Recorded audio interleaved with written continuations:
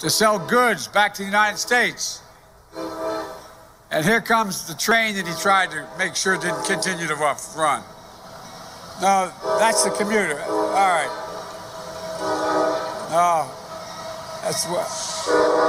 But folks, look. See that big corporation jump in front of the line to get the recovery aid that Congress had passed, while small businesses are struggling to stay open, asking questions as profound as ordinary as, will we, will we be okay? Will we be able to keep our insurance? What are we going to do? Folks, this election is a choice between Scranton and Park Avenue values, between Cleveland and Park Avenue values, between Alliance and Park Avenue values. But it's also about something deeper.